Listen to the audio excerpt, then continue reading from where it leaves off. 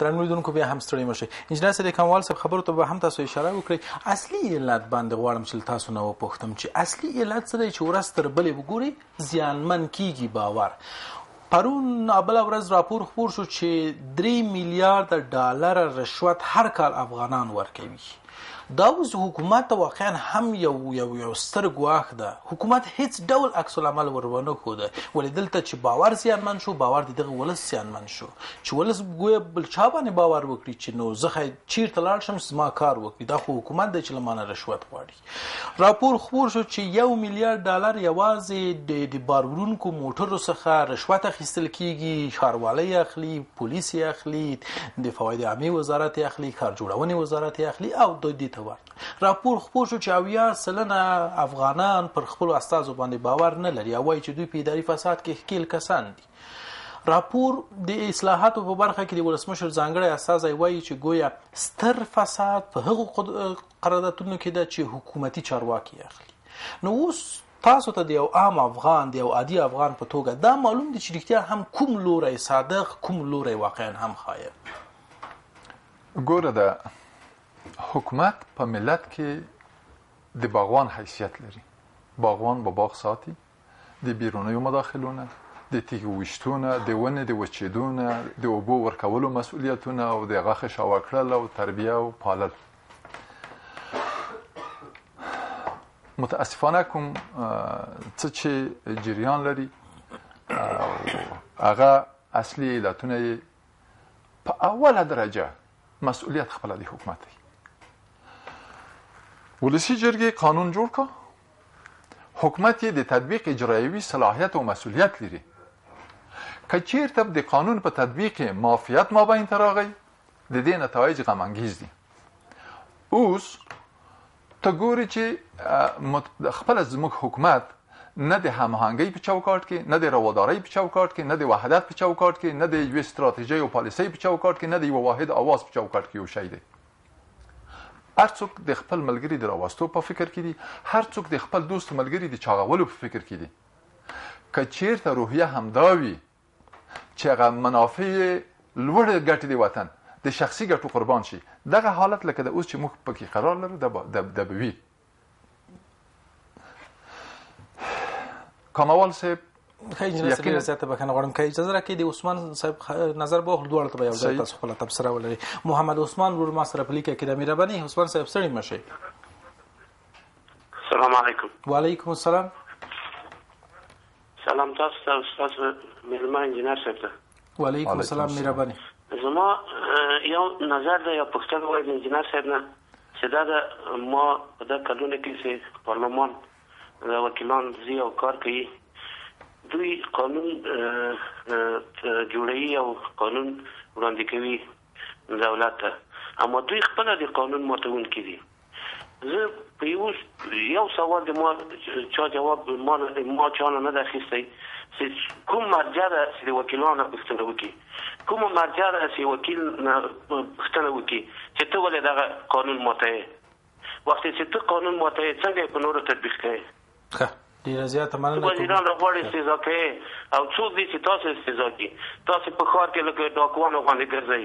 په پولیسو ظلم کوئ، په خلکو ظلم کوئ، همدغه د خلکو زور ده، د همدغه د خلکو د رأی زور ده چې تاسو دلته راغلي یئ. اما یو سوال بل ده، چه کومه مرجع به پیدا شي دغه مظلوم ملت دې افغانستان ته ووايي چه یو مامور یې په کلونه سپین ږیری وفات کیږي تقاعد کیږي د یوه کور چرته نه کیږي د یوې بسوې مځکې اما دوی په یو کال کې په دوه کالو کې هر وکیل وینې وټل لري بلند منزل لري زرې موټر لري وه د خدای لپاره ولې دا وجدان ولې دا خلکو ولې خلکو ته فریب ورکوي؟ ولې د خلکو په سترګو کې خاورې شیندي؟ ولې څوک نشته چې پوښتنه وکړي چې ته دا پیسې له کومه کوې؟ زه د لوګر ولایت یم، د ما د لوګر د ولایت وکیلان دي. ته باور په خدای وکړه چې یو پیسه هم ځمکه یې نه درلوده، اوس هوټل لري، اوس بلندمنزلې لري، او ما په کلونه په دپارلمان کې ما نه ليدلي غير يو صاحب خان ده چې کله کله خرګيږي اما نور وکيلان نسته همداسې د ټولو ولاياتو دوی چې په د ښار کې ګرځي وا وروره موږ تاسې ټول ده وينو چې دوی څه رقم ګرځي دوی دا موټر له کومه کړي دوی څومره خلاف قانون بله محمد عثمان ورور ستاسو نظر مو واخيسته فقط وروره زه ما ما پوښتنه دا ده چې دغه جواب دوی نه په پوښتنه څوک وکړي او دوی به چاته جواب ووايي ډیره زیاته مننه کوم شته داسې مرجع چې ګویا کله چې جرم په ثابت شي پر وکیل باندې بیا غل مسو... قانوني مسؤلیت نه وځي ځتي باید هغه بیا تعقیب شي عدلی او قضایي ورګانونه شته چې دوی نه پوښتنه وکړي په هر صورت انجنیر صاحب تاسو پوښتنه ته ځواب ورکړي انجنیر صاحب مهرباني دوه ته یو ځای او اول خدای کوم اول صاحب او د عثمان صاحب د نظریاتو نه مننه چې یقینا چې چې و فرمایل هم دغه یو حقیقت یې زموږ پارلمان ده کې شک نشته ښه خلک کې شته بدون شک بل ولې بد خلک هم کې شته او هغه بد خلک خپل ځانونه پیژني اول په اخلاقی لحاظ په قانوني لحاظ په اجتماعي لحاظ فقط د خپل هغو دورې سره د ځان مقایسه کوم چې دای دغه چوکار ته راغلی دی په هغه وخت کې ته څه وې اوس څه یې هغه وخت دې څه لرل اوس څه لرې هغه وخت په کوم په چی شي باندې سوري دي ډیر زیات امکانات کوونه خو خر بوا بایسکل بوا سراچه موټر بوا ولی اوس گارد دی زریحی موټر دی هیاهوی دی خلاف رفتاری دی په سرکو باندې او تصرف دی او غصب دی او زغلول او ټکول او ویل او هر څه دی اوس د دنیا دی وکیلانو سره کله کله زموږ وکیلانو ته دې چانس ورکول کی چې بهر ته لاړ شي او په خارج کې پارلمانونه وګوري خلک وګوري د هغو ظرفیت ته دی وګوري د هغه اخلاق ته دی وګوري د هغه کړو وړو ته دی وګوري دا اولین مرجع اولین ځای چې د دې ټولو ناخالو مخه نیسي قانون دی په قانون کې د هر څه وضاحت لري مګر هغه مرجع چې قانون تطبیقوي اوس مهمه ده ده په کوم حد کې ځان مسؤل ګڼي په کوم حد کې خپل ځان قانون ته پابند ګڼي په کوم حد کې ځان ملت ته مسؤل ګڼي که چیرې هدف د دغو ټولو امتیازاتو نه د ټولو امکاناتو نه دی چې سړی د د ماموریت په دوره کې درې کاله پنځه کاله په دې کې تیر کا چې امکانات هم د وی امتیاز هم د وی او هغه هغه هغه هر څه شي چې پیدا کیږي هغه هم په خپل سمت باندې سوکا خو صحیح خبره ده بیا داسې مرجع نشته چې څوک د چا مخه ونیسي اجرایه به خپل ګټې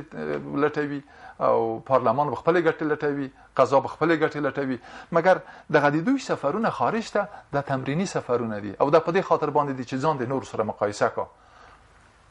هغه ظرفیت علمی ظرفیت اداری ظرفیت تعهد ظرفیت خدمت خلکو ته د انګلستان کې څو کال وړاندې وزیر داخله د دغو سکرترانو مامورینو نه یو څوک و چې په پښه باندې ګډ و او هغه قطار چې پاسپورتونه دوی اخستل هغه نه توانېدا چې دومره انتظار وباسي چې دغه نوبت ورته ورسي کوشش وشه دغه سړی لږ مخته راوست همدغه کیس تعقیب شو منتج په دې شو چې وزیر داخله استعفا وکړي او برطرف شي ځکه په ناجایزه توګه یو کس ته اجازه ورکړي و با وجود دې چې هغه معیوب و چې څو کسه په مخ کې ودري ته اوس دغه حالت مقایسه که د هغه چا سره چې د تا ترافیک په د مخ په څپړ باندې وایي د هغه چا سره چې خلک تښتوي د هغه چا سره چې په سلهاو جیره بمځکه غصبوي د هغه چا سره چې هغه په اوسنی وخت کې ته ځانه بل حاکم شاغلی او ممتاز بل څوک نه ګڼي همدا دی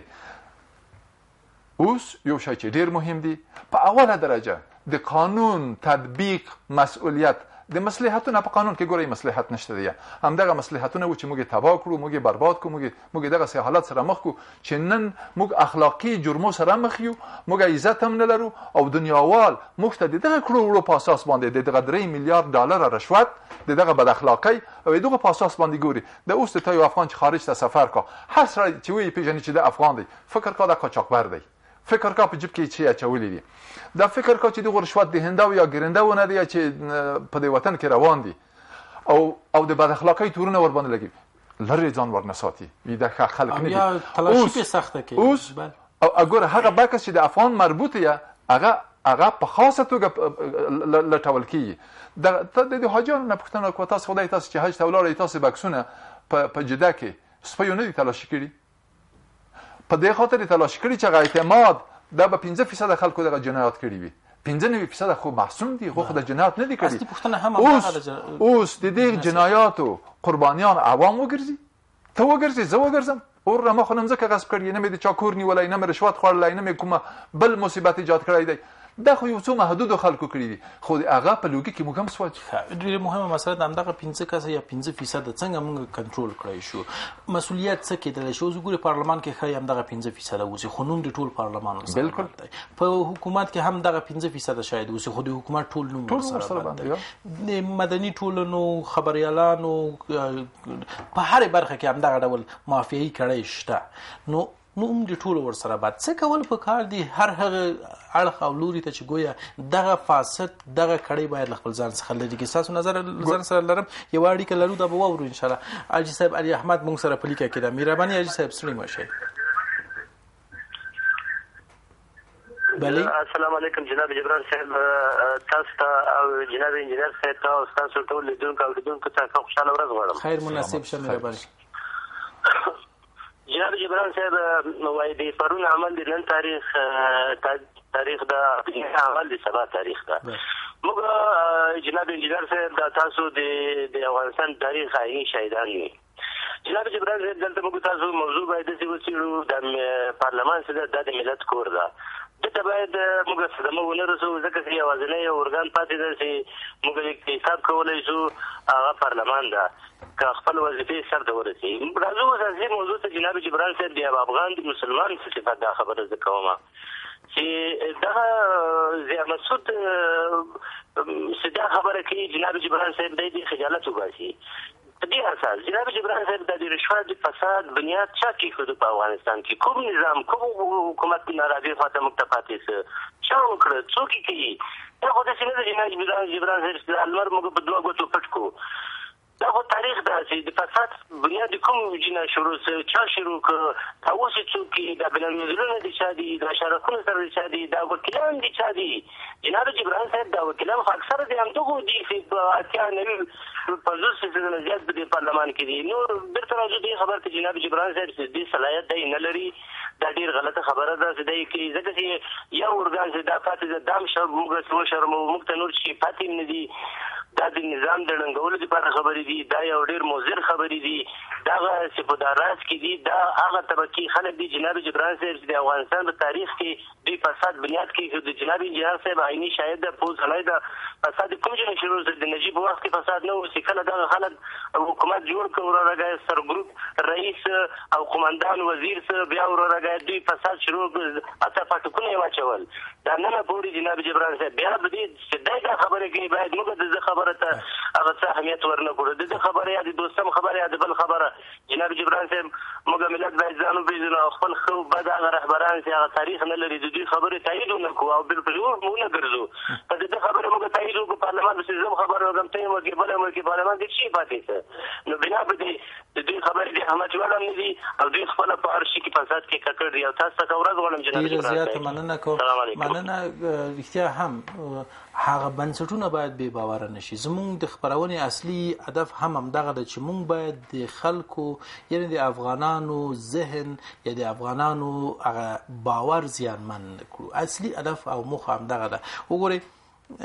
لکه څنګه چې تاسو ورته اشاره وکړه چې د اصلاحاتو په برخه کې د حکومت او یا هم د ولسمشر ځانګړی استازی دغه ډول یو تور پورې کوي خو ولسی جرګه یوازې او یوازې د یوې ورځې لپاره څخه دغه مسله لخپل لخپل ادرس څخه چې ولسی جرګه دا یادوي او بس کریکتیا هم د ولسی جرګې سره له هغو استادو سره چې واقعا هم پاک دي دوی خپل وجدان ته نه دي شرمېدلی نو دوی د دغه غږ د یوې ورځې لپاره څخه میډیایي او یا هم رسنیز نه کوي دوی د دغه مسله تعقیب کړي چې خاغلیه ته پر چا باندې شک لرې احمد محمود قلبي مقصود پر چا باندې شک لرې راځه اسناد روان دي کچې زه سپین وکیل او احمد تور وکیل سره ملت باید وپیژنو دقیقا لدین وړاندې دا خو یو یو یو تور و چې ګویا یو خبره و چې وشو تاسو به د دې شاید هم یاسې درنو لیدونکو چې د مالیې په خوانی وزیر راغی په امدغه کور کې د ولسی جرګې په امدغه کور کې په نامه وکیلان ویل چې احمد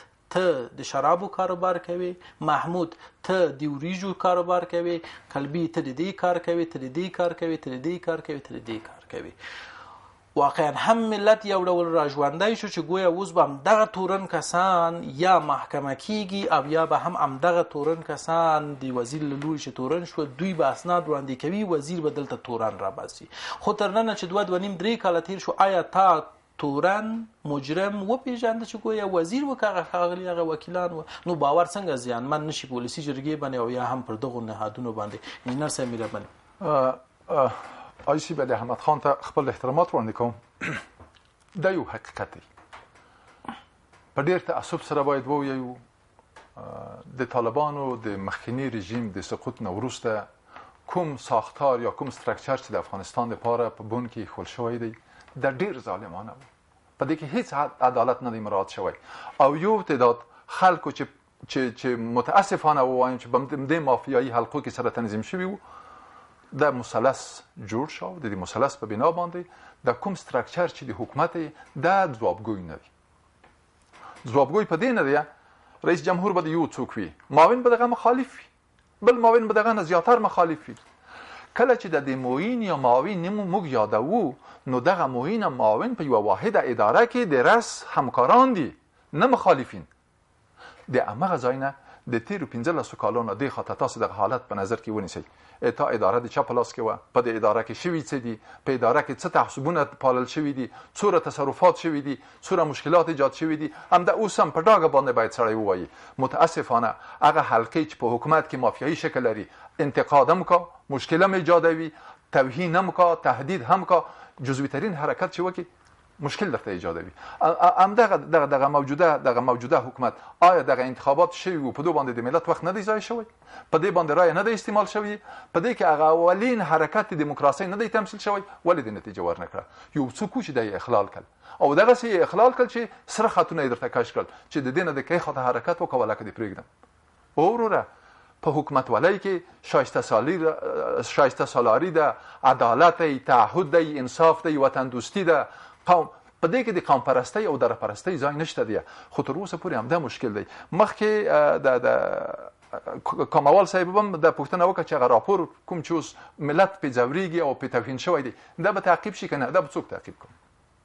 ځکه هیڅوک نشي تعقیبولای چې په هغه حلقو کې چې باید دا تعقیب کو ای تعقیب څوک یې نه دی پریخي درته خپل ډیر خلک په دې بلاو باندې په دې مشکلاتو ملوث دي د خیانت هغه جلاب د دوی په لاس کې دی ډیر ځله د اوس تر ته زورواکان د محکمې مست نشه راکشولای ولې نشه راکشولای خپل غیدارای دوی په لاس کې ده یقینا د کې هیڅ شک نشته دی موږ ډیر ډیر با خدا ډیر مسلمان ډیر وطن پرسته ښه وکیلان لرو خو ټول داسې نه دي هغه چې ښه وکیلان لرو تر اوسه هم کومه مالګه چې پاتې ده کوم حرکت چې دغه اواز ژوندی دی د هغو وکیلانو برکت دی ټول ملت خو نه خاين دی نه نه نه, نه ټول اداره غدا خو ارز درته وکم د اوس څوک چې د اوسنۍ مشکل ایجادوي څوک چې د اوازونه پورته کوي هغه شخصي اوازونه دي هغه د ملت پخیر اوازونه نه دي هغه د ملت د ګټه لپاره د رسو ګټه رسولو اوازونه نه دي د اوسم ولا په لوړ مقام کې قرار لري شخه پوسونه د ستراتیژیکی او پلانو او پالیسیو په حد کې هغه هغه صلاحیت ورته ورکړ شوی دی مګر مخالف د نظام دی تخریبوي دغه نظام هغه شایسته سالاری او هغه اهل خلک او کدرونه د صحنه نه تفریقوي او مشکل جوړوي د نن د نن هم ولا ولا ملت ته حاضر دی دغه د حکومت واګې دې د یوه هندو په لاس کې وي خو واحد ستراتیژي پالیسي دې وي د وطن ته د امن راولي اوس خو چې حرکت کوي یو خاین رانیسي سل کسه د مخې ته ودري نو په دې اساس باندې اصلا موږ چې لوی لوی مشکل لرو دغه تفرقه دغه بدبختی دغه مصیبت چې په داخلي چوکاټ کې دی موږ ته د نن بیرونی تهدیدونه هم د خپل داخل د د بې اتفاقۍ او د بې کفایتۍ په وجه متوجه دي یو څوک چې په تا کې اهلیت لري اواز پورته کوي پلانونه وړاندې کوي بل یې مخالفت کا هغه یې نه پریږدي که موږ که دغه په حلقه د حکومتدارۍ کې یو څوک هر څو دغه سچې وایي چې موږ سره په یو خله یو مو ښه کارونه کوو دغه ملت په سترګو ورته ګوري تر اوسه پورې ډېر خلاوي دي ډېر مشکلات دي ډېر تکالیف دي ترڅو چې دا واحد ادرس نشي دا يو نظر نه شي، دا يوه خوله نه شي او خپله هغه هغه څوک چې د قانون د تطبيق مسئوليت او صلاحيت لري هغه په مسئولانه توګه ميدان ته وړاندې نه شي نور په نامه د دې چې ګویا ته د ما ملګری یې که هر څه جنایت کوي پروا نشته ته که وطن خرڅوي پروا نشته ځکه د ما په حلقه او ګروپ کې ملت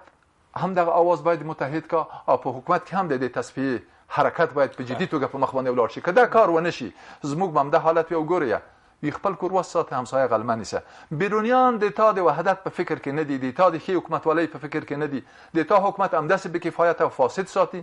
تا په وطن کې قاچاق ژوندی ساتي اتا په ملک کې دغه درې میلیارد ډالرو په حد کې چې چې چې کومه سروې شوې ده او دا تخمین شوې ده د درته ژوندۍ ساتي ته به په تروریزم ته به په په په, په مافیایي حلقو کې هم دغه سي متهم وي افغان به د ذلیل وي د مشکلات سره به د مخ وي د بهرنیانو په اجندا کې یو خبره ده ځکه کته کفایت ولري کته صلاحیت ولري کته د اجرااتو د لپاره کاری برنامه او پلان ولري بیا خو د غپرادوی د لپاره د سیمه ایز د افغانستان کې کومه جګړه چې د خصوص استخباراتي او پردي جګړه ده خلک ګمارلې دي تا وژني تاسیسات یې ړنګوي قانون تطبیق ته دې نه پرېږدي کلی د قلف د زورواکانو په لاس کې ده ته چې اصولات چیغې ووایي د اوس د یو فرهنګ ګرځېدلی هر کار چې کوي چې واسطه یې ځان سره بونځي هغه سرته نه رسي که په عادي توګه ته یو دفتر ته ننوځې په حقیقت کې ورځ دې ضایع ده او څوک موقع نه درکوي والله په خدای قسم درته کوم زه همیش د سوال کوم چې خدای په دې حکومت کې مې کار ما بندوي باوجود دې چې ښه ډېر خلک پیژنم وزیران پیژنم والیان پیژنم خپل د ولسمشر پیژنم ولې زه عاجز په دې باندې يم چې وکم کیترین کار چې قانوني شکل لري هغه دې په داسې حالت کې زه سرته ورسول شم چې پکې د فساد نه وي نو دا چې زه دې توبه وباسم عام خلک خو زیاتره دغه مشکلات سره مخ دي نو بناء اصلا نه یوازې د مخ پارلمان یا ولسی جرګه حکومت ټول وغیره په مجموع کې زموږ د نظام د خرابولو لپاره د مفسدولو لپاره بهرنۍ اجندا شته ده همسایګان جدي لګیا دي او دغه همسایګان خپل ځان ته دغه سي اجنټان دلته ګمارلي دي په لوړو لوړو پوستو کې دي د هغو عمل کاری دی هغه نتیجه ور باندې مرتبه ده هغه اکمالیږي هغه تمځکه اخستل کیږي او هغه خلک چاغ ساتل کیږي نو په دې اساس باندې یو تعهد ته ضرورت لري حکومتي چارواکي چې هغه واقعا د رای په نتیجه کې صحنه سر ته راغلي دي دغه ولسی جرګه چې د ملت نمایندګان دي د خدای په خاطر د وطن د نجات په خاطر د یو موټی شي په یو اواز باندې د حرکت وکړه هر مفسد چې مخې ته ورسره ځای غبر یو موټی مسله وګورئ په تیر پارلمان 15مه دوره کې تاسو د دې شاهد یاستئ چې همدغه ولسی جرګي یو استاد له ولسی جرګي څخه وشړل کنه چې سپکاوی وکړي د دوی معنا مجاهدینو ته سپکاوی وکړي هم ملالۍ جویا وکړي بله بله ملالۍ جویا نو نن کداغه ولسی جرګه پاک ولسی جرګه یعنی بدون شک چې پاک کسان پکې شته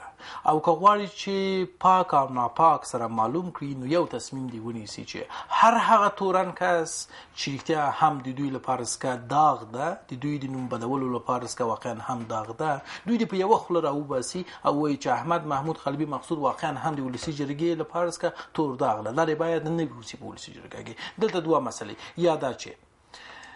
دغه کړی چې غواړي چې مفسد وکیل باید په پارلمان کې نه وسی دوی خیلی ضعیف وسی یعنی تعداد ډیر شمیر کم وسی او د فاسد وکیلانو ډیر وسی یا دا بل مسله دا ده چې خدای نخواسته خدای نخواسته ټول ول ټول ولسی جرګه د مسولیت لپاره سکه نه بلکې د هغه څه لپاره سکه راغلی چې یوازې او یوازې 15 کال دوره دلته پای ته ورسیږي او شخصي کار وکړي وبس زه په دې رابطه یو نظر لرم دغه پاک وکیلان چې په ولسی جرګه کې دي او د دې شمیره د پنځه اویا ونه تر اتیا و پورې هغه خلک دي چې یقینا همیشه مثبت رول ادا کړی دی که دغه پنځه او یا کسان یا اتیا کسان متحد شي په یو خله شي منسجم شي کاری اجندا ولري د ملت نجات اجندا ولري د ملت ښه استازیتوب اجندا ولري زه په پوره اطمینان در سره وایم چې د اویاو یا د اتیاو کسو وحدت په ولسی جرګه کې ته نور د ځان تابع ګرځولی شي ځکه هغه مفسد کړی هیڅ وخت هغه په یو اواز نشي کېدای هر سړی په خپلو ګټو پسې ګرځي هغه بیا واحد سنګر واحد اجندا واحد پلټفارم د ځان ته نشي جوړولی خو دغه پنځه اویا کسان جوړولی شي دا د مردانوار میدان ته شي دغه نورو په اصلاح کې او د ته مجبورولو کې صادقانه کارونه دی وکا خخه کارونه دی وکا د ملت خدمت دی وکا د حکومت اصلاح د پاره د قدمونه پورته کا د دې مخه بیا څوک نشي نیوای او کدا سی چې خدا نه خواسته یو شی مثلا دغه مخ کې د وزیرانو استیزا و په اول ورځ درې کسې غوښتي و درې وړه رد شول په دوه مر ورځ یو کې تایید شو په درې مر ورځ دوه کې تایید شول په څلور مر ورځ ټول تایید شول اې دې معنا ده چې بیرونی فشارونه اول ورځ ټول د تاماده و چې ان شاء الله موږ یو څه کوو په دویمه ورځ فشار دی وهله چې شو هغه تعهد لږ ضعیف شو په دریمه ورځ هغه څه شو په څلورمه ورځ هغه ولسمشر یې وډر کا چې کداغه سره د ولوی په ول ورځ باندې هغه د وزارت خارجه پر راوته او کیسونه د ستره محکمې ته راځي کړ چې د دې وضاحت وکړه ستره محکمه د دې وضاحت وکړه نو که ولسي جرګه اویا نه لس نفره اویا خو هغه دی متحد خلک موږ فرض کړل که لس نفره په یو اواز وي زه پوره اطمینان درکوم د لس نفره به ټوله ولسي جرګه ته خپل تاثیر لاندې راولي د دوی اواز به د ملت په ګټه ټول جهانیانو ته رسي د ملت اعتماد به راځي دوی به سرلوړي وي موږ به دعاګانې ورته کوو ډېره زیاته مننه کوم یونس صاحب چې وخت مو ته مونږ ته راکړ په دې هیله چې قانون پلی شي درنو لیدونکو تر بیا مو په الله سپارم ښاد او سوکاله اوسئ